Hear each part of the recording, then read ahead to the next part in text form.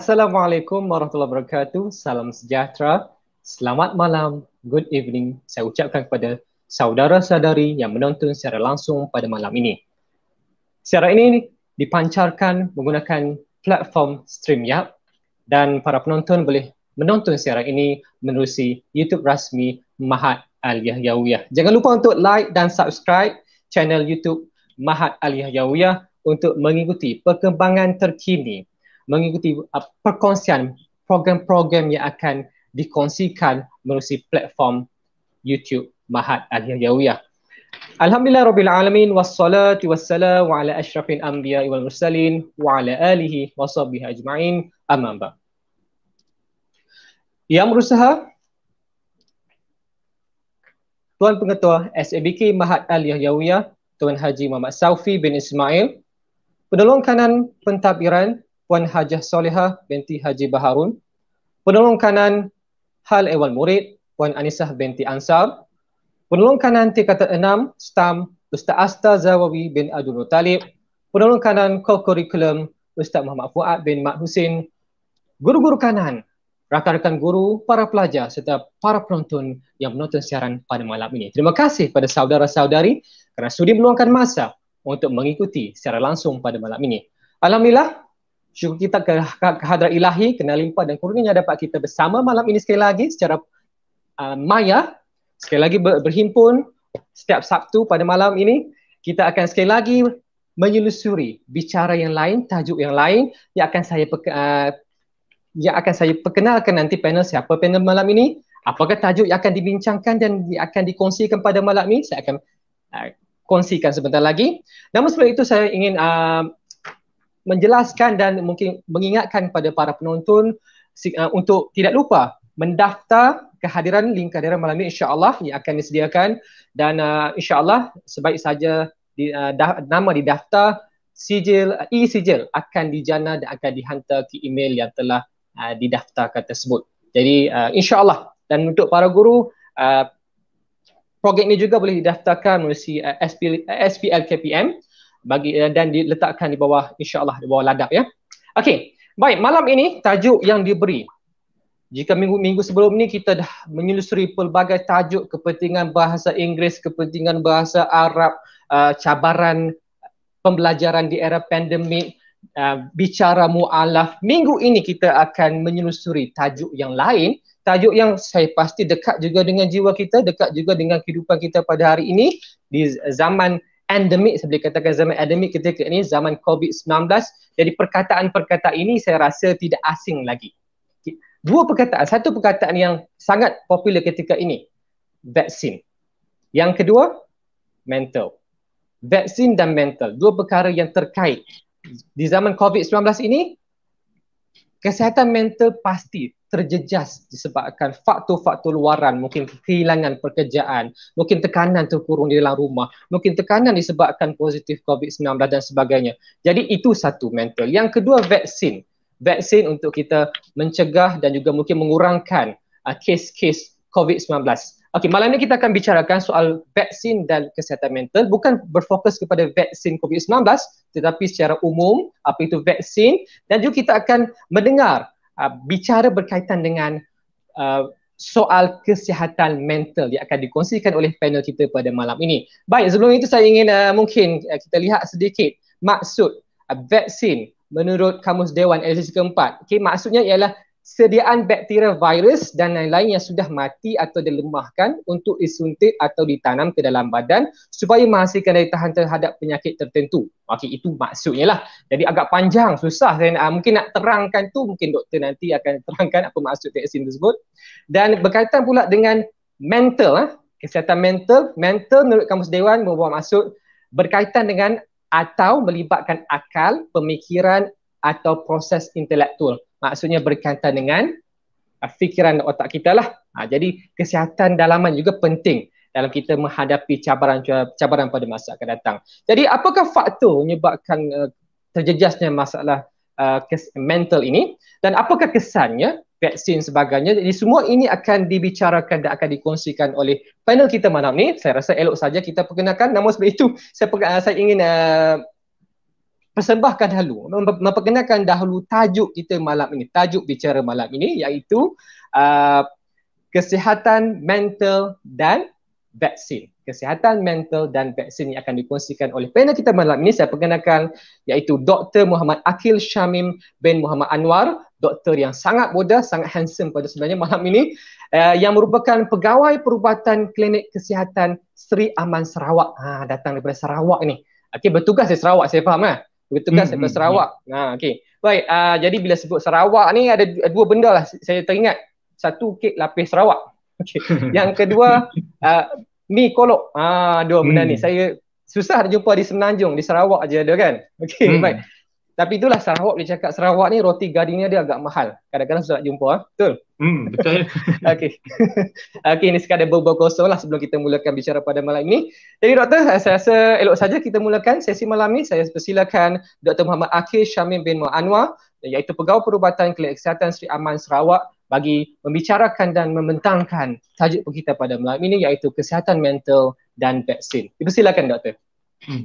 Uh, Bismillahirrahmanirrahim. Alhamdulillah rabbil alamin wassalatu wassalamu ala asyrafil anbiya mursalin wa ala alihi wasahbihi ajma'in. Uh, uh, saya uh, Akil Syamim, saya kenalkan diri sedikitlah. Saya Akil Syamim. Uh, sekarang bertugas di uh, inilah uh, klinik kesihatan Sri Aman uh, salah satu daerah di kat sini panggil bahagian lah dekat Sarawak uh, salah satu uh, bahagian yang besar di Sri Aman lah saya duduk di main KK lah bukan di uh, periphery lah maksudnya saya punya KK klinik kesihatan adalah klinik kesihatan yang besar lah uh, saya sekarang uh, baru je bertugas sebagai uh, medical officer uh, lebih kurang tujuh bulan macam tu uh, sebelum ni bertugas di hospital uh, Raja Permaisuri Bainan Ipoh lah uh, baru je ditugaskan ke sini lah. Uh, uh, itu je lah sedikit, serba sedikit bagi saya lah. Uh, so hari ni kita akan bincang, uh, saya diminta oleh ni lah uh, untuk untuk kita huraikan pasal uh, minda sihat dan vaksin lah seperti mana yang uh, apa uh, pengurusi kita sebutkan tadi uh, zaman sekarang zaman adalah yang apa uh, vaksin uh, vaksin uh, ada uh, dua kata yang famous lah vaksin dan minda uh, inilah kesihatan minda. Uh, so tajuk kita yang pertama saya uh, nak cakap pasal uh, kesihatan minda dululah. Lepas tu baru kita ke arah uh, kita uh, saya uh, uraikan uh, berkenaan dengan vaksin. Uh, so uh, minta maaf lah saya punya slide show ni uh, slide show yang apa uh, ya, saya buat petang tadi sebab saya baru balik daripada apa uh, pendalaman. Uh, saya uruskan untuk third, uh, booster dose untuk vaksin uh, pendalaman di sini lah. So saya tak sempat nak uh, ni seminggu ni memang saya busy untuk apa booster dose. Mari masuk pendalaman apa semua. Lain dengan semua susah nak dapat lah. Uh, so tak mahu lah dia punya ni macam simple sangat. So tapi saya harap uh, apa yang saya cuba uraikan boleh dapat lah. So uh, so uh, saya ni untuk So ha, tajuk pertama ialah penyakit uh, minda sihat lah. Sebelum tu saya nak uraikan lah penyakit mental ni apa. Penyakit mental ni adalah penyakit yang menyebabkan gangguan pada fungsi otak. Uh, slide uh, next. Next slide. Uh, saya uraikan lah sikit. Penyakit mental adalah penyakit yang melibatkan gangguan pada fungsi otak yang boleh menyebabkan uh, perubahan pada proses pemikiran lah, dan perasaan dengan tingkah laku uh, seorang yang mengakibatkan gangguan yang boleh uh, ganggu dia menjalani kehidupan seharian dia. Uh, so yang uh, penyakit mental ni kita boleh bagi kepada banyak banyak apa banyak cabang dia tapi yang tiga main cabang yang saya boleh bagikan ialah uh, satu tu neurosis, psikosis dengan kecelaruan uh, uh, kecelaruan personality. Uh, so neuro, uh, neurosis ni maksudnya dia ada perubahan uh, di dalam pemikiran lah. So salah satu yang kita uh, biasa yang kita dengar adalah kemurungan uh, dengan anxiety. So dua-dua ni duduk bawah neurosis lah. Uh, yang second tu psikosis. Psikosis ni uh, yang biasa kita dengar adalah uh, skizofrenia. Uh, biasanya orang panggil apa? Uh, bukan orang gila, orang kurang sihat lah.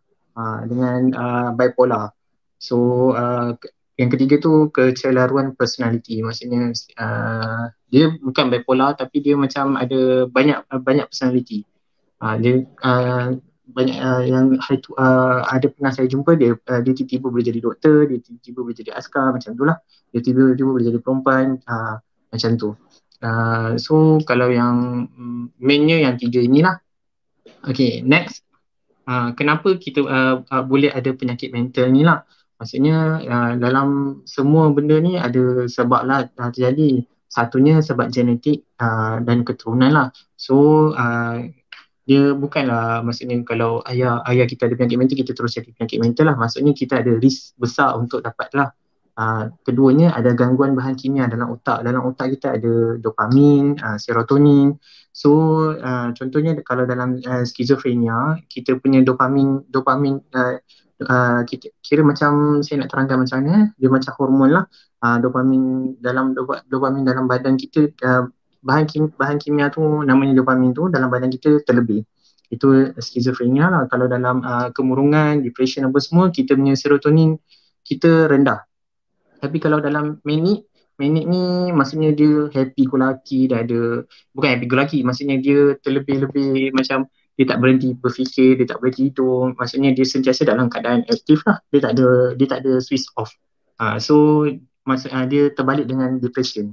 So maksudnya dia ada serotonin tinggi. Serotonin ni ialah kita ni happy happy uh, happy pill. Bukan macam happy pill lah. Maksudnya kalau serotonin tinggi kita kita akan uh, senang suka. Kalau serotonin rendah kita akan macam uh, sedih. Itu uh, apa simplified version of serotoninnya fungsi lah.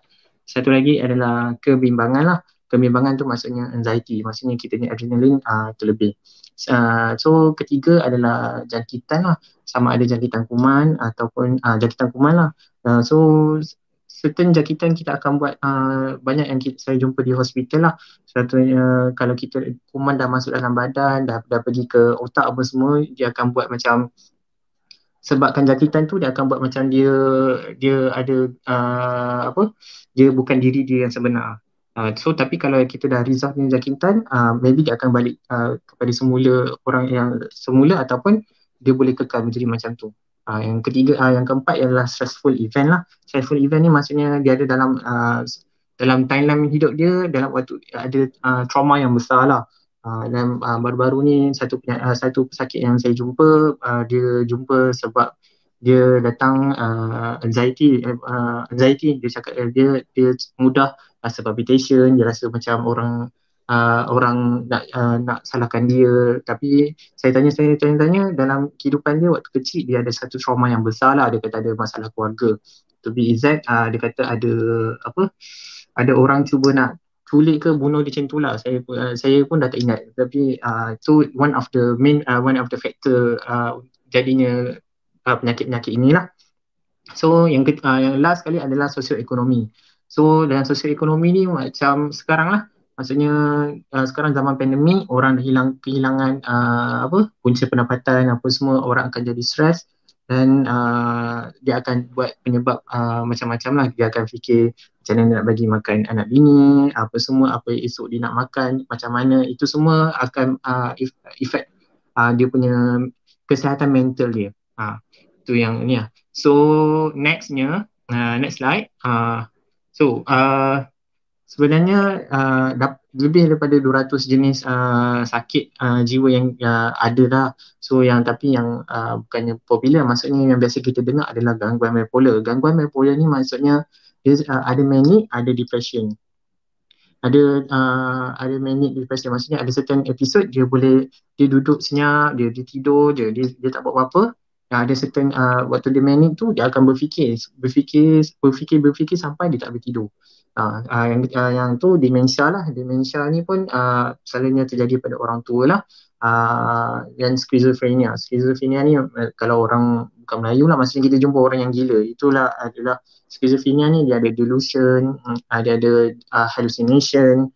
Hallucination dia maksudnya dia dengar orang cakap, dia boleh nampak orang, dia boleh nampak benda yang kita tak boleh nampak dia boleh nampak macam kita nampak batang je tapi dia boleh nampak ular macam tu lah uh, dengan ataupun gangguan kerisauan yang melampau ni maksudnya anxiety lah. Uh, anxiety. Uh, uh, salah satu anxiety adalah yang saya boleh huraikan adalah maksudnya kita uh, kita macam um, maksudnya kita dah biasa dengan environment yang lain tiba-tiba kita kena pindah pada tempat yang baru. So kita susah nak adapt uh, susah nak adapt pada ni uh, tempat yang baru ni saya dah lupa apa nama term dia. Tapi ia adalah salah satu anxiety lah ha, maksudnya dia tak boleh cope uh, new environment okay uh, next uh, tu boleh sembuh ke? Ya, uh, boleh sembuh lah sebenarnya. Kita ada ubat uh, yang boleh kontrol untuk hallucination apa semua ni. Dalam, kalau di KK saya memang ada uh, kita akan kita sentiasa jumpa orang yang apa uh, skizofrenia. Uh, biasa saya jumpa skizofrenia lah. Uh, bipolar bipolar disorder saya tak biasa jumpa lagi tapi memang tiap bulan tiap tiga bulan uh, setiap bulan lah sebenarnya setiap bulan dia akan ambil buat cucuk lah untuk kurangkan dia punya uh, skizofrenia punya simptom So dan banyak yang saya jumpa memang macam orang normal biasa sajalah. Uh, so yang uh, second adalah counselling lah. Counselling ni walaupun kita nampak macam simple-simple counselling je lah counselling tak ada apa-apa pun. Tapi sebenarnya dia banyak membantu lah. Uh, counselling ni ada banyak ada banyak jenis.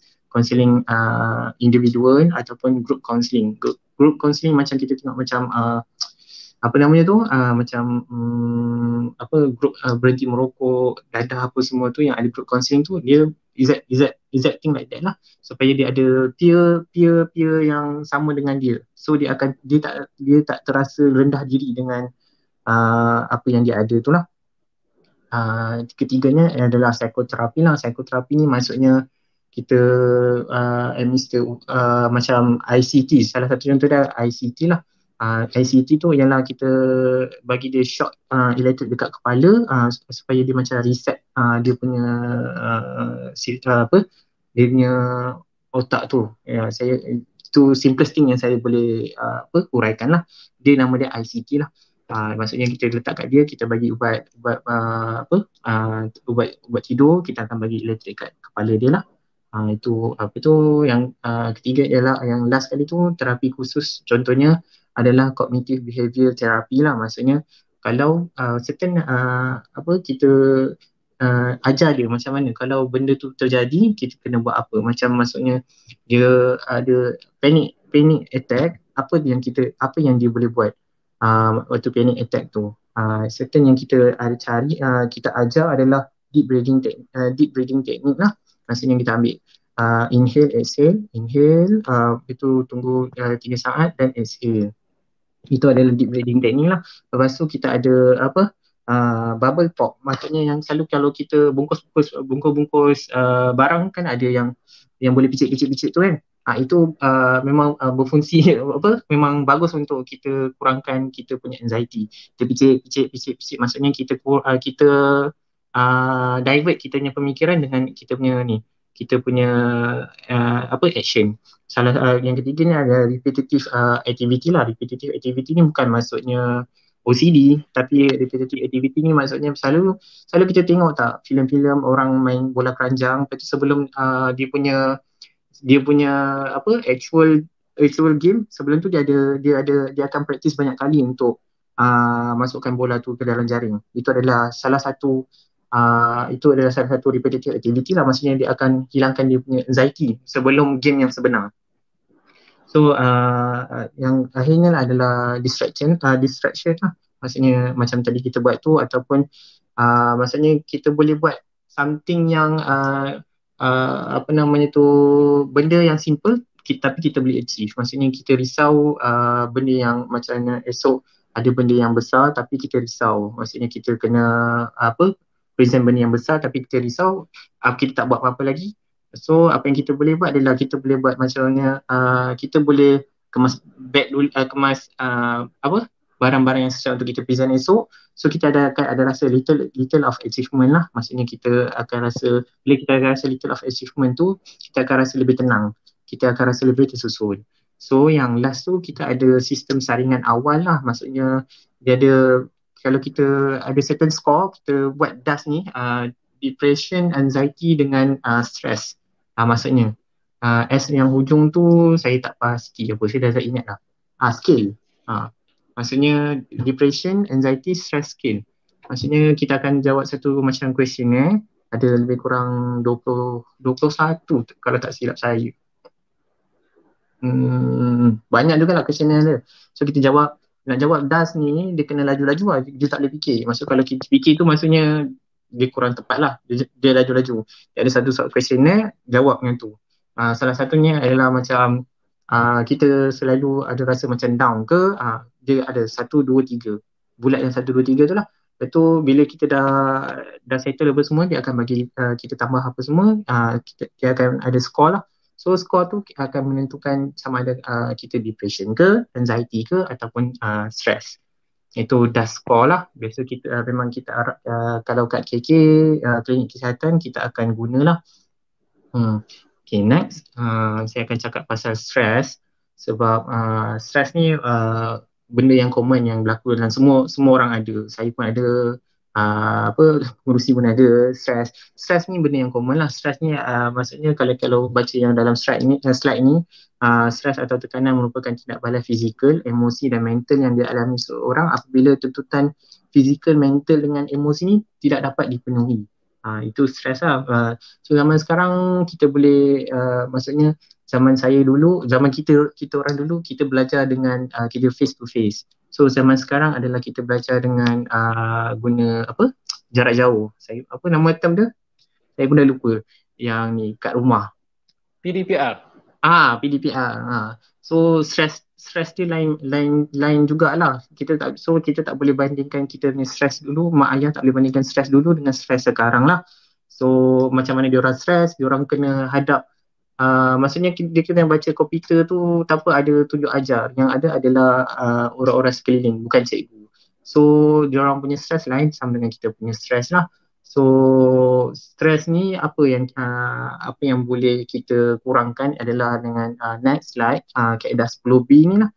Uh, next next slide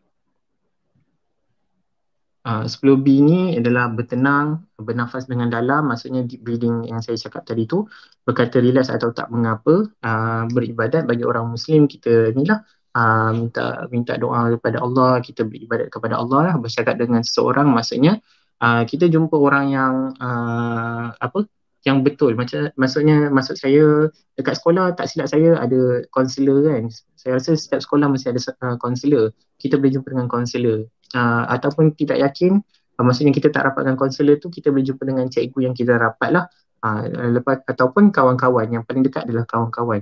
So orang yang mendeng, orang yang mendengar uh, kita tak boleh downgradekan dia lah. Maksudnya stres dia dengan stres kita adalah uh, setiap orang berbeza-beza.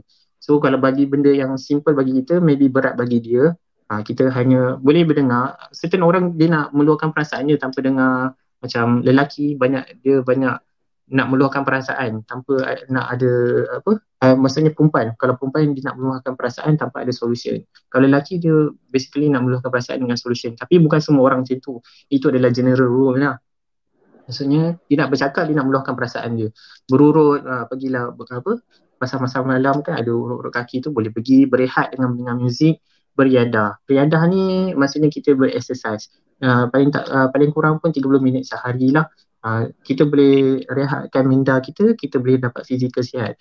Dan pepatah pun banyak, banyak cakap kan kalau uh, apa badan yang sihat, apa akal yang sihat datang pada badan yang sihat lah. Uh, so benda tu memang betul lah bila kita berada, bila kita exercise, kita punya uh, apa uh, serotonin, serotonin kita akan jadi uh, tinggi, So kita akan lagi lagi senang. Bila serotonin tinggi macam saya cakap tadi kita akan lagi senang lah. Uh, bila ada yang senang tu samalah dengan berfikiran positif.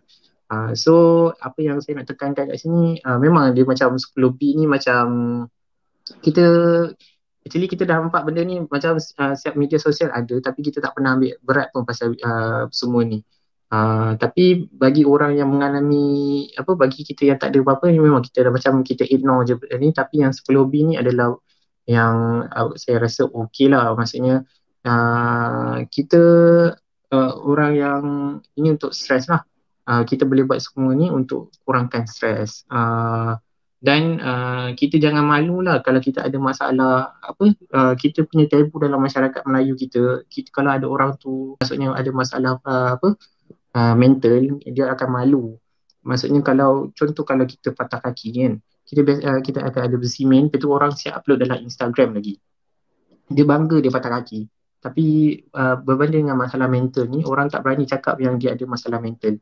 So apa yang saya boleh cakap uh, apa yang saya boleh ni kita kena bukan berani maksudnya kena berani uh, beranilah berani untuk cari tolong uh, untuk cari uh, benda uh, orang yang sesuai untuk kita minta tolong. Sama ada pergi uh, jumpa doktor konselor ataupun uh, cikgu-cikgu lah yang boleh kita rujuk pada orang yang sepatutnya lah.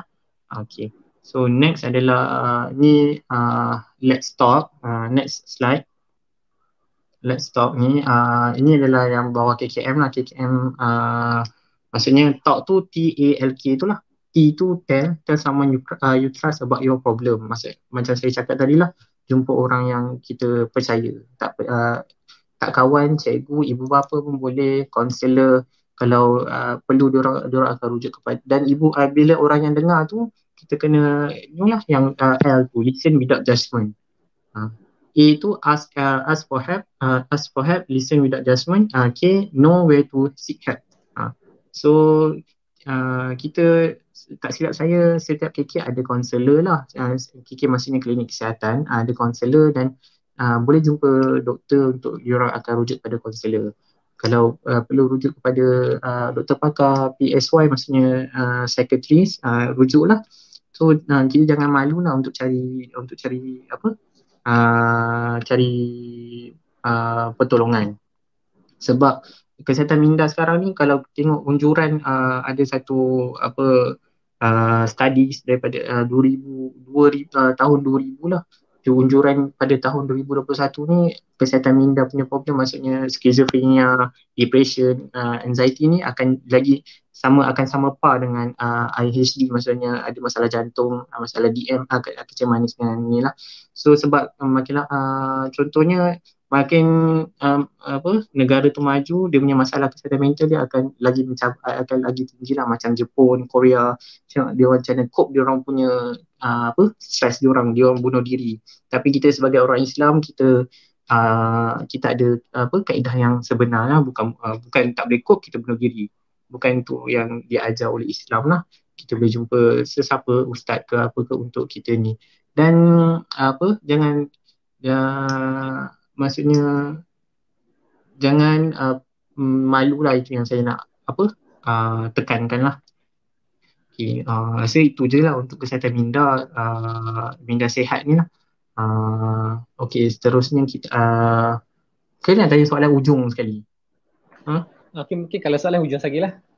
Uh. Di penghujung nanti kita akan tanya. Kalau soalan kita akan kemukakan. Ah, okay, kalau macam tu, um, saya masuk terus vaksin lah. Okay, Boleh ke? Boleh ha. boleh teruskan. Ah okey. Next uh, saya akan cakap uh, pasal vaksin lah. Hmm, uh, vaksin ni yang macam kita punya uh, apa namanya tu uh, kita punya pengurusi cakap tu lah adalah uh, apa dia punya tu saya dah, dah lupa dah apa dia punya uh, ni kamus kamus ni punya ni. Kamus, Tapi kamus dia macam ni jugalah satu bahan kimia yang mengandungi antigen. Antigen tu maksudnya uh, antigen ni maksudnya macam ni dalam Melayu saya pun uh, maksudnya benda asing lah uh, benda asing uh, daripada sama ada daripada bakteria, virus ataupun uh, uh, vektor okay. uh, dia diperoleh daripada sebab uh, yang kalau saya cakap kan ia diperoleh daripada sebahagian ataupun keseluruhan struktur virus, bakteria ataupun kuman yang telah dilemahkan atau dimatikan Okay, jadi, uh, so maksudnya sama ada kita uh, vaksin ni sama ada daripada bakteria, uh, virus ataupun vektor. Vektor ni uh, kalau Google adalah uh, kalau Google Google dia punya bentuk badan dia macam alien sikit lah. Tu namanya vektor lah. Uh, uh, kalau virus macam uh, coronavirus, uh, apa lagi virus? Uh, um, mm, HIV, Hep B, uh, kalau bakteria, TB, uh, apa lagi? Uh, apa? Uh, TB lah. Uh. So yang jadual yang ada ni adalah jadual uh, imunisasi kanak-kanak lah, uh, kebangsaan punya. Lahir-lahir itu kita akan cucuk BCG. BCG ni adalah TB punya uh, ah, TB punya apa vaksin uh, uh, first dose lah hepatitis B. Hepatitis B adalah uh, penyakit uh, apa virus untuk hati lah. Uh, TB tu tuberculosis lah batuk batuk berdarah. Uh, so yang uh, first month uh, ni jadual lah hepatitis B second dose. Second month DTAP tu maksudnya diphtheria, tetanus dengan pertussis difteria ni dia uh, penyakit yang ada selaput. Uh, nanti saya terangkan lah tapi uh, difteria tu adalah penyakit uh, dalam mulut ada selaput kat mulut. Uh, tetanus ni adalah kancing gigi. Uh, pertasis ni adalah batuk kohol. Maksudnya kalau kalau boleh google kat apa google kat YouTube kan dengar macam mana batuk kohol ni macam mana budak-budak tu batuk dia tak berhenti lah sampai dia susah nak bernafas. So first HIV ni influenza uh, hemophilus influenza dia boleh buat kecacatan otak lah dengan polio. So 2, 3, 5 ni dia orang akan show benda yang sama dan uh, next month tu bulan 6 tu uh, measles, measles untuk Sabah saja dengan JE lah uh, belah Sarawak sini dengan MMR, uh, MMR maksudnya mumps, measles, rubella. Mum ni beguk, beguk tu lah bengkak tu, measles ni cacar.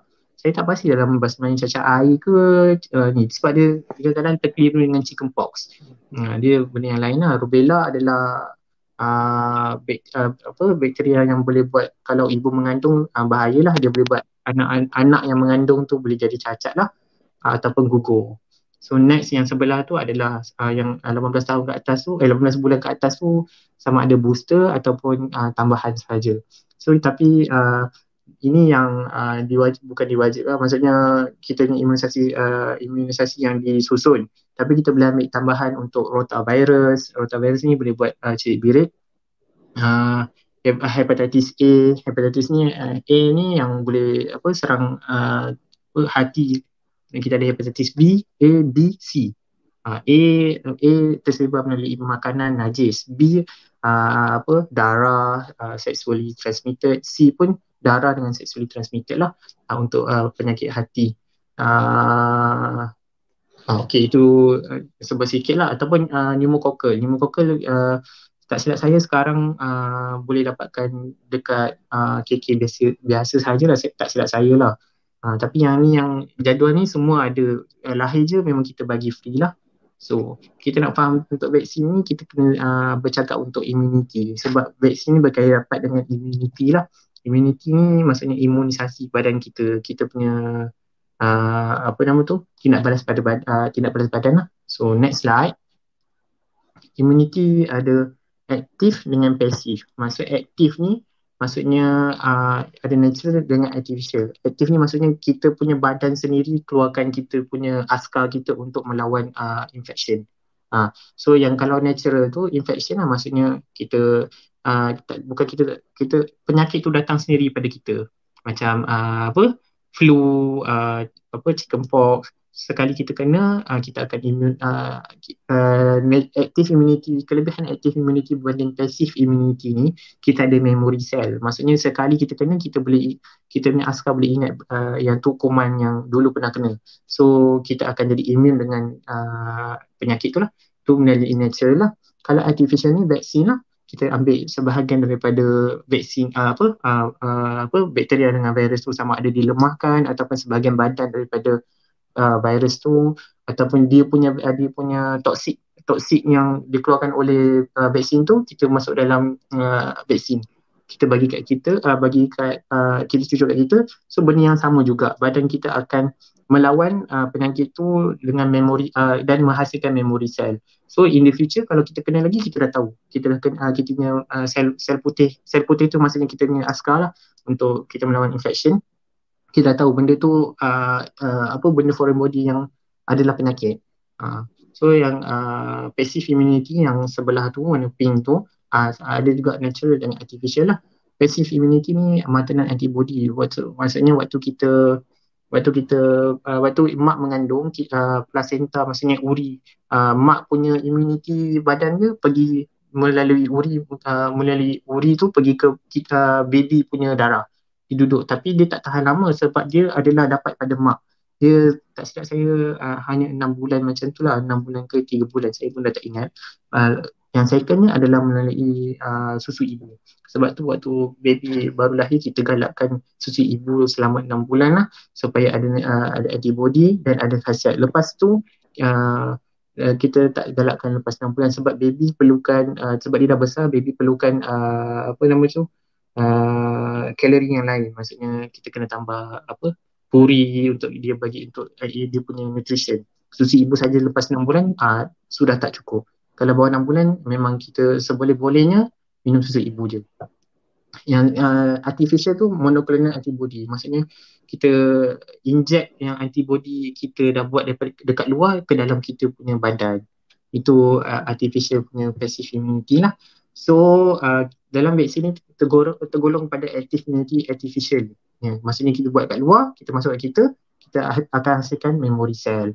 Okay next next uh, ni kita akan uh, bincang pasal type of vaccine lah. Maksudnya macam mana vaksin tu dibuat daripada daripada apa. So ada banyak kat sini. Ada inactivate uh, vaksin inactivate vaksin ni macam uh, kita dia ada virus tapi dia dah mati dah mati ataupun dah dilemahkan. Uh, uh, uh, maksudnya yang tu sekarang kalau covid ni Sinovac lah uh, Sinovac sekarang Sinovac tu adalah inactivate uh, inactivate vaksin dengan polio. Polio yang injection. Bukan polio ni ada dua lah. Dulu polio punya vaksin kita minum. Uh, sekarang kita punya polio punya vaksin kita cucuk. Sebab polionya uh, vaksin tu, vaksin untuk minum ni banyak dia punya uh, bukan side effect dia punya keburukan bukan keburukan saya rasa dia tak ada lebih baik cucuk daripada minum macam tu. Lepas tu live attenuated vaksin ni MMR dengan uh, smallpox. Messenger RNA ni uh, sekarang ni uh, COVID-nya tu adalah ni lah uh, apa nama Pfizer. Uh, mRNA, mRNA maksudnya messenger uh, RNA kita punya RNA ni uh, ni kena uh, ni lah google lah macam mana bentuk RNA tu. Dia macam uh, rambut kerinting satu je. Kalau DNA dia rambut kerinting dua uh, DNA kita punya uh, kita punya sel badan kita adalah DNA lah kebanyakan apa itu virus kebanyakan virus adalah RNA. So bila RNA ini uh, messenger ni maksudnya uh, dia bawa dia bawa RNA RNA ni akan menghasilkan satu protein uh, messenger yang akan bawa benda tu. Uh, itu mRNA lah. Uh, bila RNA ni dia dia memang akan selalu uh, berubah. Maksudnya dia akan ada mutation sebab dia bukan DNA. DNA kita ada check check bukan check ambulance kita ada satu yang check maksudnya dia keluarkan uh, protein tu adalah protein kita. Dia akan check kalau bukan uh, protein kita uh, dia akan buang lah. So, tapi RNA ni kita dia tak ada macam dalam dia punya virus tu dia dia tak ada check yang itu adalah protein virus. So bila RNA ni uh, dia terdedah kepada mutation. Sebab tu kita uh, sekarang nampak COVID punya ni varian banyak lah sebab dia banyak mutation sebabkan hari ini. Uh, yang uh, keempat adalah subunit uh, subunit maksudnya uh, recombinant polysaccharide conjugated vaccine ni maksudnya kita ambil sebahagian dia, dia, uh, apa protein daripada vaksin tu kita buat uh, uh, sebahagian daripada protein atau uh, virus tu kita buat untuk vaksin daripada sebahagian tu. Kita tak perlu pun buat uh, untuk semua tu lah. Toxide toxide vaksin ni maksudnya uh, dia punya uh, apa uh, bakteria tu dia menghasilkan satu toksin daripada toksin tu dia uh, kita buat uh, vaksin. So uh, uh, tapi yang telah telah dilemahkan lah masa kalau masuk kat badan kita tak ada rasa apa-apa lah. Uh, itu toksik vaksin lah. Kita guna dia punya toksin tu masukkan dalam badan kita. Lepas tu viral vector vaksin ni uh, yang ni lah Zika, HIV, Ebola ni dia tak berapa nak famous sangat lah sebab uh, dia tak ada kat negara kita satu uh, orang lain tak tahulah bukan tak tahulah maksudnya dia tak dia, uh, orang kita tak ambil kena untuk uh, viral vector vaksin ni. Okay, uh, uh, next adalah uh, vaksin ni uh, apa apa dia punya apa? Dia punya tujuan utama dia. Sama ada prevention ataupun bila kita kena penyakit tu uh, kita akan dapat uh, penyakit bukan yang teruk kita akan dapat yang mild punya simptom maksudnya uh, maksudnya okay, kalau next tu uh, next slide uh, saya ambil pada status uh, seseorang lah maksudnya waktu uh, dia uh, dalam apa yang dia cakap ni uh, make sense jugalah.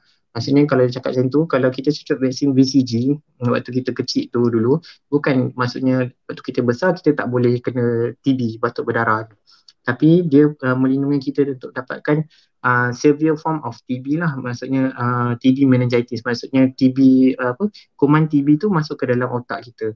Uh, so dia itu adalah severe form of the TB lah. Uh, tapi bila kita ada uh, BCG tu, kita uh, boleh kena infect dengan uh, lung TB. Maksudnya uh, batuk batuk batuk berdarah tu lah. Batuk berdarahnya uh, lung TB ni adalah main main tempat TB tu adalah uh, jantung. Tapi bila dia dah merebak pada uh, otak ni maksudnya dia dah severe lah, dia dah macam dah teruk sangat. So dekat Sarawak ni memang banyak sangat prevalence uh, prevalence uh, sangat-sangat lah uh, orang kena uh, TB. So kita memang ada satu khas untuk uh, sudut untuk TB lah. Memang kita tiap-tiap minggu, uh, tiap-tiap hari memang kita jumpa orang TB, TB, TB, TB. Dekat Sarawak ni memang banyak lah berbanding dekat Semenanjung sana, Sabah Sarawak ni. Sebab kita dekat dengan uh, border Indonesia. So memang saya selalu jumpa orang uh, severe form uh, ni lah. Uh, bukan severe form lah, maksudnya hilang TB. Tapi dia orang kecil-kecil ada dia dah cucuk BCG. Itu uh, kegunaan BCG lah. Lepas tu certain some vaccine are to prevent like tetanus polio.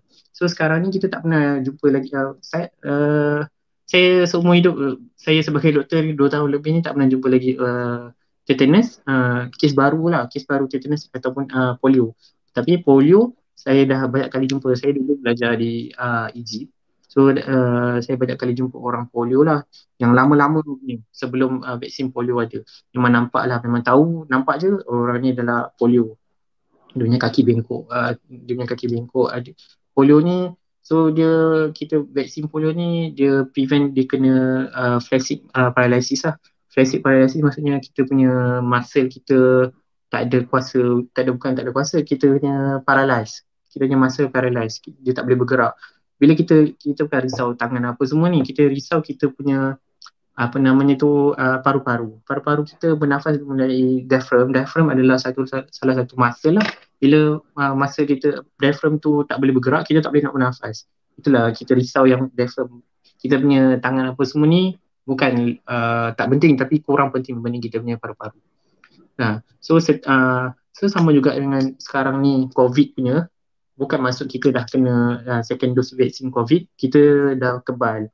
So uh, vaksin vaksin dalam uh, konteks COVID ni kita uh, boleh dapat untuk kategori satu atau kategori dua. Maksudnya dia tak ada simptom langsung ataupun simptom dia mild. Kita boleh kurangkan uh, COVID-3, perlukan oksigen, COVID-4, uh, perlukan apa? Perlukan antibiotik apa semua, uh, COVID-5 perlukan intubation apa semua ataupun ICU punya admission lah. Itu itulah uh, kegunaan vaksin COVID sekarang. Bukan maksudnya uh, dah cucuk vaksin kebal daripada COVID. Ha, ramai orang salah faham lah sebab tu ramai orang macam dah kena cucuk pun kena vaksin lagi. So apa apa kenapa nak nak apa apa dah ada cucuk kena covid lagi. Kenapa nak cucuk kalau kena? So yang bawah tu cakap kalau kita pakai seat belt pun still kita boleh kena accident. Tapi complication dia reduce. Maksudnya kalau kita accident pun dengan ada seat belt tu kita tak melayang semua. Itu adalah satu cakap adalah chance of uh, chance of probability lah sama ada kamu boleh jadi teruk ataupun tak teruk. Ha, so kalau ada chance kita nak untuk kurangkan uh, teruk tu, kita ambil. Uh, 60% ke 70% ke, uh, kita ambil juga. Uh, takkan kita nak biarkan uh, apa 0% apa uh, 100% mati ataupun 70% selamat macam tu. Uh, dia kita kena balance lah semua tu. Tu uh, so next slide saya akan tunjukkan polio dengan small smallpox lah. Uh, next slide. Okay, ini adalah dua penyakit yang kita berjaya eradicate lah masuk dengan vaksin. Uh, smallpox ni yang ujung sekali gambar yang ada bintik-bintik kanak-kanak ni. Ya, cacat air lah. Cacat air. Smallpox ni uh, tak silap saya adalah uh, vaksin, uh, smallpox vaksin adalah vaksin yang pertama kita jumpa lah. Maksud bukan kita jumpa, yang dibuat lah maksudnya uh, oleh orang oleh orang putih lah. Uh, so dengan ada smallpox punya vaksin, kita tak lagi jumpa orang yang titik-titik macam ni. Uh, yang menyeramkan ni lah maksudnya cacat-cacat air ni. Sekarang kita dah tak jumpa.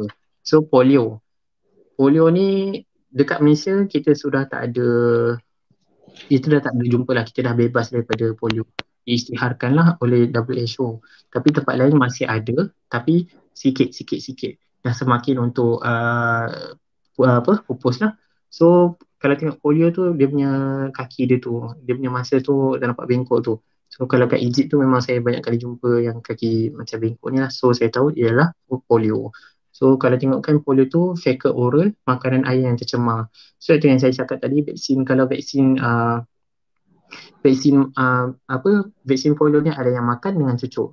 So kalau uh, keburukan bukan keburukan, kekurangan vaksin oral ni dia akan uh, makan, dia akan dicernakan oleh perut dan dikeluarkan oleh najis lah. Tapi uh, dia boleh still boleh infect orang dia melalui najis yang kalau kita ambil vaksin tu. Uh, faham ke maksudnya? Kalau kita ambil vaksin pada oral oral vaksin, kita akan buang tu dia akan cernakan melalui najis. Tapi najis tu ada vaksin polio tu. Tapi kalau orang yang tak yang tak ada vaksin yang tak ada vaksin polio tu tercemar dengan uh, najis ni, uh, dia akan kena polio. So benda ni terjadi pada Sabah lah 2019 uh, 2019 rasanya. Sudah 20 20 tahun tak jumpa tiba-tiba ada seorang uh, apa polio vaksin uh, polio polio baby kena polio dekat Sabah. Uh, kita uh, investigate rupanya daripada uh, vaksin. Dia namanya saya dah lupa term dia tu. Maksudnya dia kena polio tu disebabkan vaksin tu. Uh, sebab uh, itulah yang saya cakap tadi sebab dia uh, uh, apa dia punya persekitaran dia tak bersih. So uh, kalau boleh kita uh, tukar kepada cucuk lah. So next uh, next slide. Next slide uh, yang saya cakap tu lah WHO Asia wabak polio di Malaysia sudah tamat. Last yang kita jumpa adalah uh, selepas 27 tahun tu 2019 tu satu je dekat Sabah lepas tu kita dah tak jumpa dah. So dua dua ni kita dah berjaya untuk tamatkan uh, melalui vaksin. Itu ke, uh, kejayaan vaksin lah. So yang uh, next slide adalah uh, disease yang kita lupa bukan kita lupa lah, disease yang kita almost forget about. Sebabkan vaksin chickenpox, diphtheria. Diphtheria ni yang mulut nganga ni nampak ada putih-putih itu adalah diphtheria lah.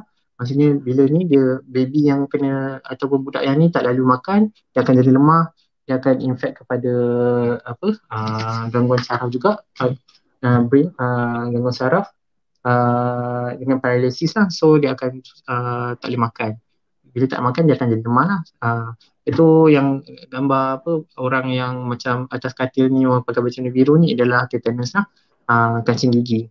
Bila kancing gigi ni uh, dia macam spasm macam ni. Inilah kancing gigi. So melalui ini kita dalam saya memang tak pernah jumpa diphtheria diphtheria tak, tak pernah jumpa lagi tetanus uh, HPV yang gambar healthy cervix carcinoma ni yang uh, apa perempuan punya reproductive symptom ni adalah HPV yang saya nak tunjuk untuk HPV lah. HPV ni adalah ketuat.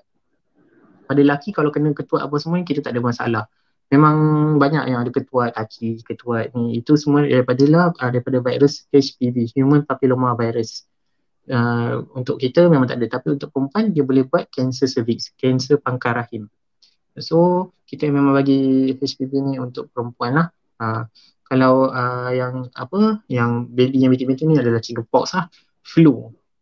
Flu ni maksud saya bukan kita almost forget. Maksudnya flu ni uh, flu ni adalah virus dia adalah H1 uh, bukan uh, H1N1 dia influenza. Influenza ni ada influenza A influenza B.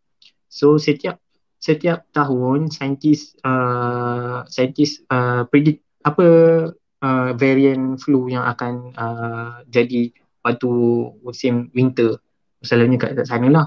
Dekat Eropah. Winter tu apa yang kita selalu H1N1 ke? Dia ada banyak yang selalu kita kena adalah H1N1 lah yang chicken uh, apa swine, swine flu. Itu yang selalu kita dengar lah. Tapi flu ni dia ada banyak variant. H1, H2N1 uh, banyak lah. Uh, so scientist predict uh, apa tahun ni apa yang akan uh, banyak. So dia akan buat uh, vaksin untuk tu. Tapi uh, untuk vaksin flu ni adalah miss miss uh, macam mana saya cakap uh, kadang-kadang kadang-kadang tepat kadang-kadang tak. Maksudnya scientist predict je. Uh, itu adalah kekurangan flu punya vaksin. Pneumococcal uh, pneumococcal ni uh, selalunya orang yang ada COPD maksudnya apa asma asma COPD ni uh, apa paru-paru dia uh, uh, selalu orang merokok lah selalu yang kena COPD uh, COPD ni maksudnya paru-paru dia keras. Dia tak boleh nak ni. Uh, itu kita sarankan ambil pneumococcal lah untuk ni uh, rubella, tetanus, pertussis. Tetanus ni type pula. Rotavirus ni adalah uh, dia boleh buat ciri birik. Ciri birik yang ciri banyaklah sampai orang tu tak larat. So ciri uh, ciri saja bahaya juga. Rubella ni um, selalunya yang saya cakap tadi itulah kalau uh, pregnant woman memang bahayalah sebab uh, dia boleh buat kukuran ataupun kecacatan pada janin lah. Okay, uh, itu saja yang ini tak silap saya ada 14 14 uh, penyakit lah yang ada. MMR ni mumps, uh, measles, rubella. Ha, rubella dua kali pula. Okay, kontroversi uh, okay. Next adalah kontroversi vaksin. Ini famous lah setiap daripada dulu lagi sampai sekarang uh, kontroversi ni masih ada. Yang yang yang famous adalah autism. Autism ni uh, zaman dulu-dulu tu waktu dia vaksin MMR ada satu uh, orang gastroenterologist maksudnya pakar pakar apa nama itu? Uh, gastroenterologist uh, perut. Uh, perut dan usus lah maksudnya perut dan usus. Dia buat lap, dia dia ambil dia punya tu dia punya kajian tu ada 8 orang sahaja. Bila ambil MMR ni dia tengok ada tanda-tanda autism. So dia buat skop dia masuk skop dia masuk skop dalam perut. Dalam uh, jumpa kat usus tu uh, dia, dia macam dia kena radang dan uh, ada protein yang tak boleh serap untuk pergi ke otak. So dia concludekan dalam 8 orang ni uh, MMR adalah uh, boleh buat autism. Tapi uh, sekarang uh, bukan baru-baru ni dah lama lah. Uh, orang buat kajian balik dengan uh, satu skala yang besar lah bukan 8, 8 orang je macam orang dia ni tak pernah tak ada pun correlation antara uh, MMR vaksin dengan autism itu bila kita siasat-siasat balik uh, dia dia publish dia punya dia publish dia punya apa nama penemuan ni dalam satu macam PubMed. PubMed ni kalau orang yang buat research uh, untuk ni dia akan publish dia punya tu research dalam PubMed dalam uh, saya dah lupa dia dia publish dalam apa. Tapi dalam satu uh, uh, ni lah. So dia cakap dari situ dalam 8 orang ni semua yang kena autism uh, MMR ni tapi bila kita buat balik uh, dia punya tu uh, kalau kita nak buktikan dia ada autism dengan MMR ni bila kita ambil je mana-mana orang yang kena MMR uh, ambil je MMR yang vaksin orang dah cucuk vaksin mesti ada yang ada autism. Tapi kita tak jumpa lagi. Maksudnya dia punya kita nak buktikan dia punya tu betul dia mesti ada reproducible punya reproducible punya result. Maksudnya kita akan jumpa autism balik. Tapi uh, tak ada. Lepas tu dia dia sarankan ambil MMR vaksin yang dia buat sendiri, uh, maksudnya bukan uh, gabung tiga, dia sekali je. Satu je vaksin. Yang MMR ni dia gabung tiga ni satu je vaksin untuk ni. So dia ada berkepentingan kepentingan dia punya kepentingan lah kenapa dia kata ada autism. So kat situ dia morally morally tak tak tepat lah maksudnya dia kata ada autism tapi dia tak jual dia punya produk macam tu. So uh, Jepun ada ambil MMR dia, dia orang punya MMR tu satu vaksin bukan tiga macam kita tapi tak ada pun autism. So benda tu tak betul lah. So, uh, ada autism tu yang yang kedua ya aluminium dalam vaksin lah. Ini pun famous juga orang tak nak ambil sebab ada aluminium dalam vaksin. Aluminium dalam vaksin ni kita guna uh, sikit je small amount saya tak ingat lah 0.08 macam tu lah. Untuk kita bagi vaksin ni maksudnya Uh, dengan dengan uh, bahan kuman yang kecil kita bagi aluminium sama dengan bahan kuman yang besar uh, kita bagi pada budak. Maksudnya dia aluminium ni untuk bagi uh, apa sistem imun kita uh, bukan maksudnya dia sama macam kita bagi kecil dengan uh, sama macam kita bagi kuman tu uh, banyak pada baby tu. Tapi dalam uh, kecil ni kita bagi aluminium sama efek dia macam kita bagi banyak. Itu uh, efek aluminium dalam uh, vaksin lah. Tapi uh, orang risau dia akan bahayakan baby boleh buat kanser apa semua tapi kita uh, sebenarnya dalam susu minum susu uh, apa dahsyat bukan dahsyat ni maksudnya sekarang kita cari pula kena saman. Uh, maksudnya susu minum susu tu ada aluminium yang banyak lagi daripada ni. Daripada susu soya, susu lembu lagi banyak aluminium uh, daripada vaksin. Tapi kita tak pernah tak ada apa-apa pun. Deodorant pun deodorant yang selalu kita pakai tu kebanyakannya ada uh, sebab tu ada natural deodorant dengan deodorant yang uh, chemically lah yang ada aluminium. Kalau kat uh, baca Google, dia orang ada yang orang putih tak suka ambil deodorant yang apa chemical ni sebab ada aluminium. Dia buat cancer. Tapi kita orang kita guna tak pernah ada cancer. Uh, so uh, tu tak tepat lah dengan tak berkesan. Tak berkesan ni uh, apa yang saya cakap tadi itulah uh, macam influenza influenza vaksin uh, memang tak uh, bukan dia dia miss uh, miss and match. Uh, bukan miss and match maksudnya dia kadang-kadang kena kadang-kadang tak. Dengan dan covid macam ni lah orang orang ingat dengan delta variant yang baru ni uh, dia tak berkesan lah uh, buat pergi ambil uh, apa covid vaksin ni. So, tapi uh, dalam satu research yang baru-baru ni saya cakap dia tak tidak melindungi uh, vaksin vaksin covid ni tidak melindungi kita daripada delta variant tapi dia tak baca bawah tu yang dicakap orang yang vaksin uh, kena delta variant ni dia likely dia memang ada apa viral load yang boleh infect orang tapi viral load yang hidup uh, yang maksudnya orang yang tak vaksin dia ada viral load dia dalam badan dia yang tinggi boleh infect orang tu selama contoh 5 hari. Kalau orang vaksin dia punya viral load dia 3 hari saja. Dia cepat dia, dia clearkan cepat. Sebab tu apa bila kita sudah uh, apa vaksin ni uh, kita kena amalkan lagi uh, penjarakan sosial, pakai mask. Semua itu adalah bukan vaksin saja yang boleh uh, menangani COVID ni. Tapi dengan uh, vaksin, uh, penjarakan sosial dengan mask itu adalah uh, package lah uh, dalam zaman pandemik sekarang ni dan nak masuk endemik ni. Uh, sebenarnya coronavirus ni adalah macam uh, dulu yang kita uh, dengar adalah ni MERS-CoV. Maksudnya uh, MERS-CoV yang daripada tanah Arab itu adalah coronavirus juga dengan SARS. SARS waktu mula-mula saya kecil dulu ada SARS. Uh, orang pakai uh, N95 waktu kecil-kecil tu. Itu dulu zaman dulu lah tapi uh, yang lagi uh, lagi uh, teruk adalah uh, coronavirus ni COVID ni lah. So coronavirus ni banyak mutation dia yang daripada SARS, uh, MERS-CoV, COVID, ada tak silap saya ada 8 lagi uh, coronavirus lah. Yang paling teruk yang famous adalah SARS, uh, MERS-CoV dan COVID ni lah. So yang ni etika kemanusiaan lah. Waktu saya belajar mikrobiologi waktu med school dulu memang kita ada bincangan pasal etika kemanusiaan lah. Sebab setiap ubat yang baru kita buat, kita nak test pada siapa? Kalau uh, maksudnya uh, kita mesti nak nak kita kena test pada manusia dia ada clinical trial ni memang banyak banyak banyak phase dia uh, dalam dalam lab dalam lab dah selamat kita uh, tak silap saya lepas tu uh, haiwan lah lepas tu baru manusia uh, lepas manusia ni ya. So dalam ini etika kemanusiaan ni. Kita tak tahu uh, kalau dalam lab dengan uh, haiwan ni uh, selamat tak mestinya selamat untuk uh, manusia. Itu yang kita bincang waktu nak bagi vaksin ataupun bukan saja vaksin ubat-ubat yang biasa kita makan macam panadol apa semua ni dia nak uh, waktu mula-mula buat tu dia akan test pada manusia juga. So waktu sekarang ni yang apa namanya tu? Uh, dia punya mudarat tu lagi besar uh, mudarat tu lagi besar lah kalau kita tak ambil vaksin tu. Uh, itu yang ni tak selamat yang saya cakap tadi lah ada autism dengan aluminium. Ini kontroversi-kontroversi vaksin yang bersekitar uh, apa banyak orang mainkan tapi uh, ada dia punya apa penjelasan dia uh, itu je lah kot untuk vaksin secara general dia uh, rasa uh, cukup, cukup ke saya pun tak tahu rasa okey uh, sampai sini sajalah kalau ada soalan boleh tanya lah kot uh. Okay, right. uh, okay, terima kasih doktor atas hmm. perangai panjang berkaitan dengan kesihatan minda dan juga vaksin. Okay, uh, sebelum kita mungkin kalau ada soalan yang ingin ditanya buat para penonton boleh ajukan menerusi luang komen live chat di sana di YouTube boleh saja uh, ajukan soalan sekiranya ada uh, namun sementara menanti soalan-soalan yang mungkin akan ditanya sekiranya ada saya ingin menjemput hmm. uh, panel panel okay, panel kedua kita iaitu uh, saudari Najwa Wardah. Okey saudari Najwa Wardah daripada Sabah kan? Okey uh, pernah muncul sebelum ini dalam uh, bicara uh, mualaf kan? Betul. Okey baik, uh, mungkin boleh sedikit uh, komen dengan apa yang telah dikongsikan oleh Dr. Akil Syamil sebentar tadi. Silakan.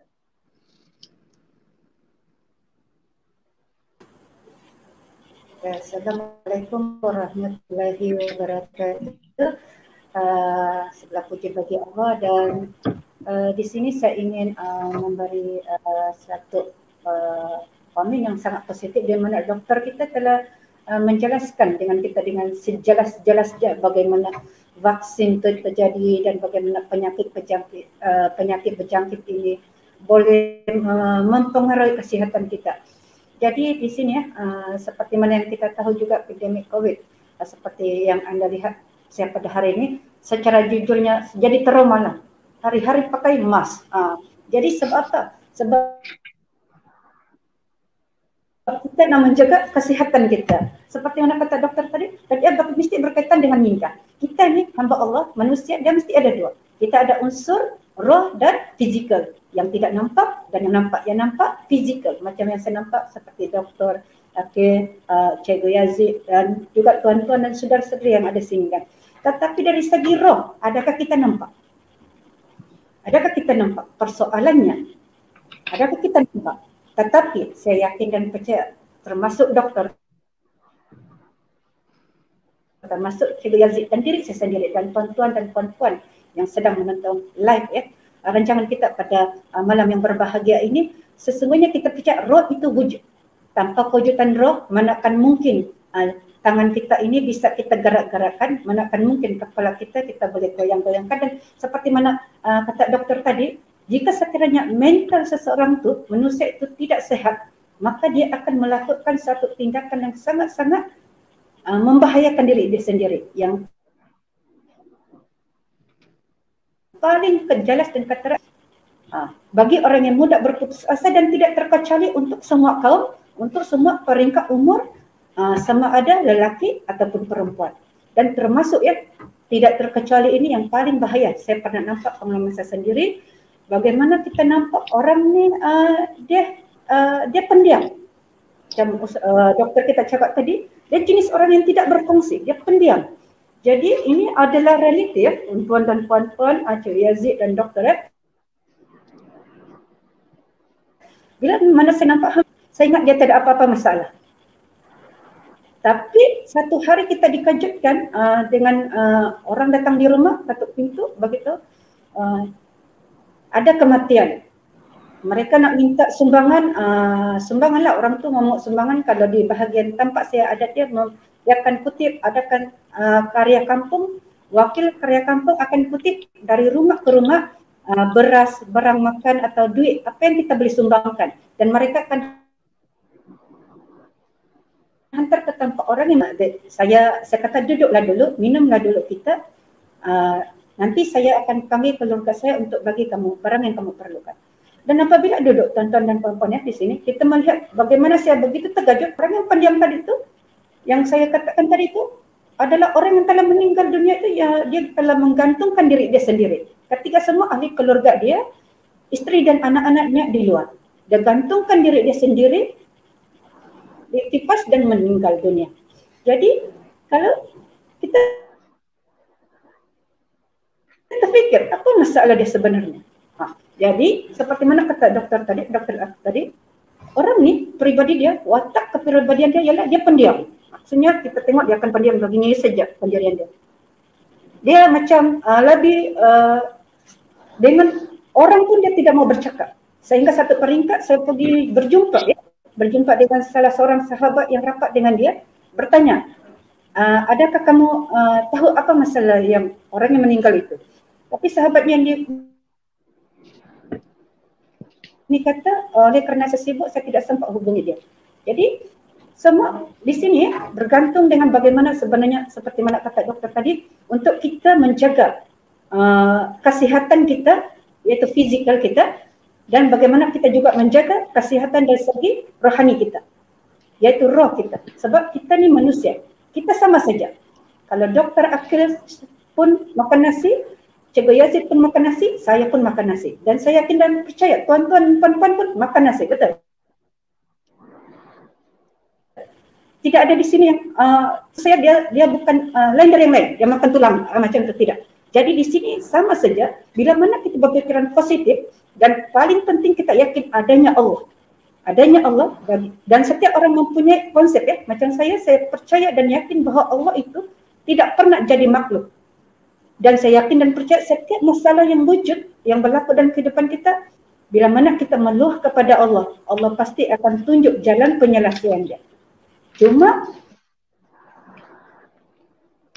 bersabar dalam kehidupan kita seperti mana kata doktor tadi kita juga kena penting untuk uh, bergaul dengan masyarakat kita tidak boleh bersendirian dan kita juga penting untuk uh, ada ilmu maklumat tentang penyakit-penyakit berjangkit dan terutamanya lagi pandemik covid pada masa ini ya sebab uh, seperti mana saya ketahui ya uh, ada kawan-kawan sahabat-sahabat kita mereka menolak uh, vaksin bukan orang biasa-biasa bukan orang istilahnya kita boleh bagi satu bahasa yang uh, orang pernah dengar, bukan kaling-kaling. Kerjaya orang tu juga cegu. Bila dia seorang cegu, dia tidak, tidak bagi saya, uh, satu yang macam uh, kita tidak menolaklah pendirian hamba Allah itu, itu pendirian dia. Tetapi apa kata kalau kita uh, menyahut ya, kita bekerjasama menyahut uh, suruhan kerajaan kita untuk semua guru-guru ataupun rakyat Malaysia divaksin. Tetapi orang yang tidak faham konsep vaksin seperti yang diterang oleh doktor tadi, uh, mereka akan uh, menolak sebab pertama mereka uh, lebih kepada memang kita tidak uh, perubatan uh, sunnah Al-Quran dan sunnah Nabi itu ada. Tetapi bukankah dunia ini dunia yang Allah cipta untuk kita semua ini? Bukankah dunia ini ada sebab dan akibat? Bukankah begitu doktor? Bukankah begitu Cikgu Yazid dan tuan-tuan yang sedang menonton? Kan seperti mana saya boleh, saya kena percaya doktor sendiri, doktor Akil dan Cikgu Yazid dan tuan-tuan dan puan-puan yang berada di hadapan saya mesti setuju dengan pernyataan saya. Dunia yang kita ada sekarang dunia sebab dan akibat. Sebab ada penyakit, maka keluar penyakit COVID, maka keluarlah vaksin. Jadi kita di sini kena memikirkan bagaimana cara kita untuk minda kita berpikiran positif. Kita jangan biarkan uh, kita dalam keadaan yang negatif thinking. Dalam setiap agama, mana-mana pun kitab uh, yang kita percaya agama samawi, ya, semuanya akan terus kembali kepada Allah. Jadi seperti mana dokter tahu terang tadi dengan panjang lebar dan kita juga memahami oh ini sepatutnya begini. Kenapa wujud begini? Sebabnya begini, akibatnya begini. Jadi sekarang ni kalau sekiranya kita, contohlah yang saya cakap tadi, saya sendiri tidak mengambil vaksin, saya akan membahayakan masyarakat atau orang-orang yang berada di sekeliling saya. Dengan pemikiran saya, oh vaksin itu, vaksin itu, uh, baca ni lah, vaksin itu uh, musuh yang hantar untuk membunuh kita. Begitu ya, betul kan cikgu? Di media masa atau kawan-kawan kita, dia kata uh, vaksin tu uh, uh, menurut kita yang saya dengar daripada kawan-kawan YouTube dihantar oleh musuh-musuh untuk musnahkan uh, kita ni manusia supaya kita ni uh, dapat penyakit dan uh, dunia ini akan selamat daripada bencana. Tapi percayakah orang yang berfikir macam ni, uh, tidak mengambil vaksin, sebenarnya mereka ini terdera dengan uh, situasi yang uh, kita boleh panggil uh, situasi yang dia membahayakan diri dia sendiri dan masyarakat yang ada di sekeliling dia. Okey. Dan bagi saya, cikgu, uh, sekejap, bagi saya masa. Bagi saya doktor, uh, oleh kerana saya pun sensitif ya bahagian ini dan saya berada dalam environment suasana uh, persekitaran dengan kawan-kawan, uh, kawan saya itu ada penyakit kanser. Jadi saya tidak ingin dia uh, terkena. Jadi saya sentiasa uh, apa pakai mask uh, sebab kita tidak ingin memudaratkan dia. Uh, lagipun kawan kita itu bila kita kata vaksin ini adalah kesihatan yang baik. Uh, kita tunjuk dia cara pakai macam ni. Tapi okay, contohnya sekarang saya nak tanya tuan-tuan dan puan-puan. Bila saya sengit kan sengitkan uh, apa nama dia? Mesir, dari logik apanya? Ingat macam ni. Okey. Uh, adakah uh, pada pandangan tuan-tuan dan puan-puan uh, dengan memakai mask ini saya tidak akan terkena penyakit vaksin itu? Adakah pada pandangan tuan-tuan dan puan-puan termasuk doktor sendiri dan cikgu sendiri, adakah hanya dengan uh, saya bergantung dengan mask ini? Uh, tapi saya tidak mengambil ikhtiar uh, vaksin, uh, contohnya saya pakai uh, mask ni. Uh, saya selamat dari uh, ada respon doktor? Jadi tak. Uh, contohlah sekarang saya pakai terbalik ke ataupun saya pakai elok ke macam apa? Ha? Tak kan? Okey, uh, okey saya pakai uh, yang pasti tak saya ingatkan uh, saya ingatkan uh, tak okey. Jadi bila hmm. doktor bagi uh, respon macam tu saya ingatkan uh, apa hari ini saya pakai ini sebab kita nak membuktikan semua penyakit itu adalah atas izin Allah. Ya, atas hmm. izin Allah untuk uh, kita boleh uh, kita boleh uh, terkena penyakit ini atas izin Allah. Semuanya sebab izin Allah. Uh, doktor bagi tadi sebab seseorang itu kena penyakit TB maka terhasillah uh, terhasillah satu uh, rawatan yang dikaji oleh doktor-doktor pakar untuk dibagi kepada semua masyarakat. Agar semua masyarakat uh, apa selamat daripada penyakit bagi saya. Kita juga kena sentiasa mengamalkan apa yang uh, Rasulullah. Kalau kita beragama Islam kita amalkan apa yang Rasulullah sallallahu alaihi wasallam amalkan? Rasulullah sallallahu alaihi wasallam even dia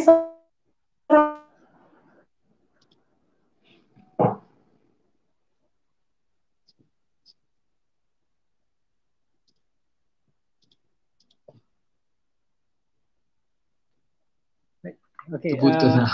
Terputus. okay.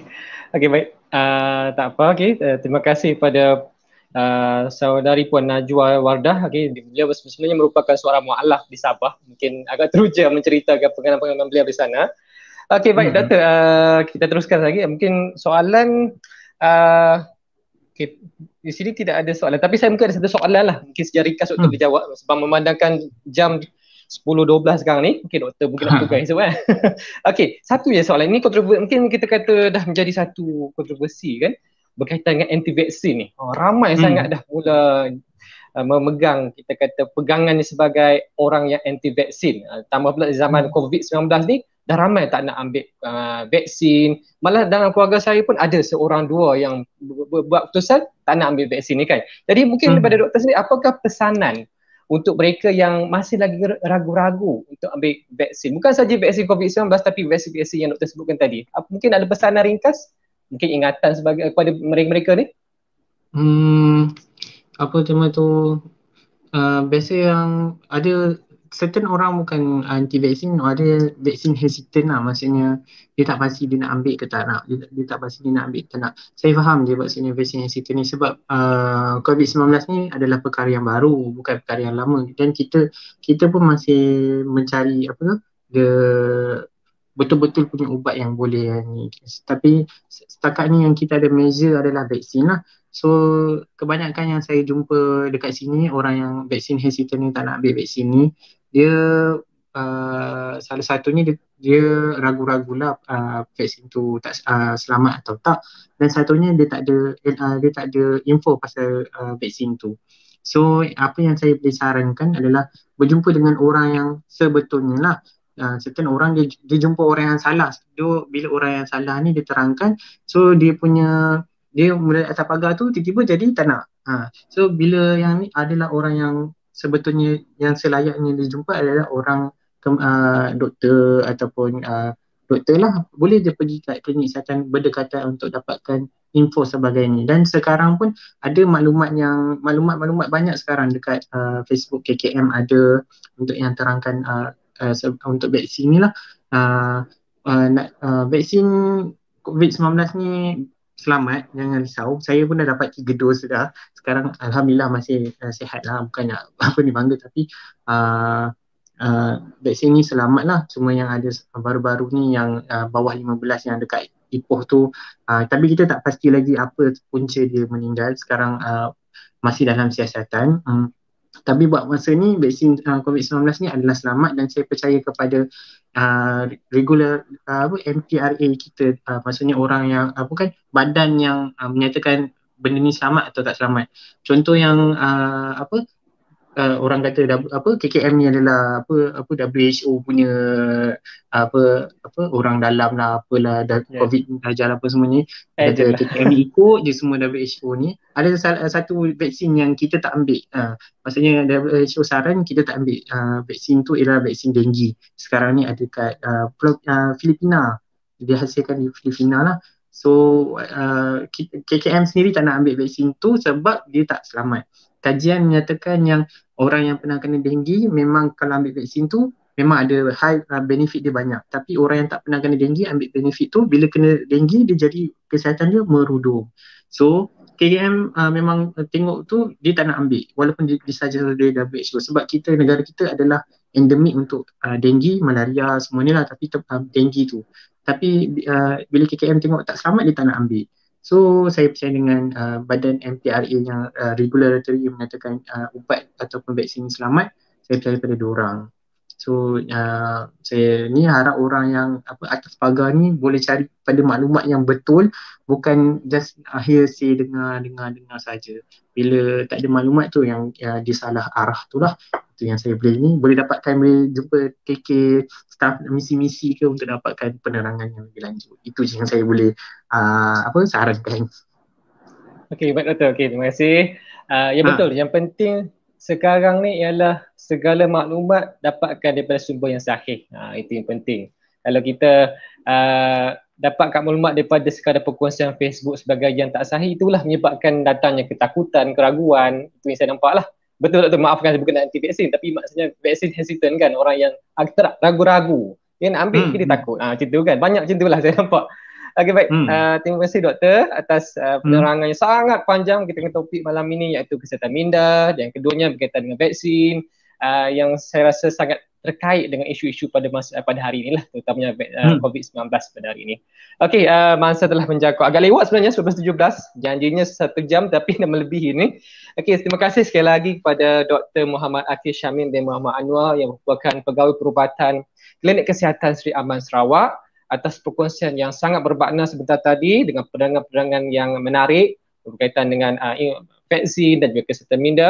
Jadi kalau ada ingin dapatkan maklumat lanjut, boleh saja kita rujuk pada doktor yang berhampiran lah. Uh, terutamanya di klinik kesihatan dan di hospital. Baik, uh, dan juga terima kasih kepada saudari uh, Najwa Wardah sebentar tadi atas uh, penerangan, uh, atas perkongsian tadi. Uh, mungkin tadi ada masalah lain. okay. Tapi terima kasih sekali lagi atas uh, uh, pendapat dan pandangan berkaitan dengan uh, topik kita pada malam ini. Jadi saya uh, masa agak terbatas ketika ini uh, sekadar ing- ingatan kepada para penonton pada malam ini jangan lupa untuk isi link kehadiran uh, yang telah disediakan di ruangan komen. InsyaAllah anda kalian semua akan menerima sijil, e-sijil yang akan dihantar ke email masing-masing. Baik, uh, setakat itu saja. Terima kasih sekali lagi kepada Dr. Muhammad Akif Syamim bin Muhammad Anwar. Uh, terima kasih juga kepada saudari Najwa Wardah atas kesudian meluangkan masa pada malam ini. Selamat bertugas doktor. Esok bertugas doktor? Apa? Esok bertugas ke? Esok uh, saya cuti. Eh, esok saya cuti. Ha, esok saya cuti. Ah, okay. Selamat bercuti lah. okay. okay, saya faham lah doktor ni memang busy je kan. Okay. Ha, ha, Baik. Uh, okay, terima kasih lah. Masa, masa saya faham pun Sarawak waktunya lain lah. Ha, kan? Hmm, hmm. sebenarnya waktunya lain. Mungkin dah lewat di sana dah. okay. Terima kasih lah sekali lagi doktor atas jemputan ha, ini pun sama. last minute kan di last minute ha, dia jemputnya. Sebab jemput. tak apa, ha. tak kisah. Yang penting tu dapatlah matlamat atau objektif kita pada malam ini. Okey, baik. Mm-hmm. Dan setakat itu saja. Terima kasih pada unit STAM atas anjuran amal pada malam ini. Program pada malam ini. Moga saudara-saudari para penonton malam ini mendapat manfaat dan juga info yang terkini yang, yang terbaru barangkali untuk mengubah persepsi kita terhadap kesihatan minda dan juga vaksin. Okey, terima kasih sekali lagi kepada semua. Terima kasih para penonton. Panel-panel kita pada malam ini. Saya sudah dengan Assalamualaikum warahmatullahi wabarakatuh. Jumpa lagi di Lain Bicara. Waalaikumsalam.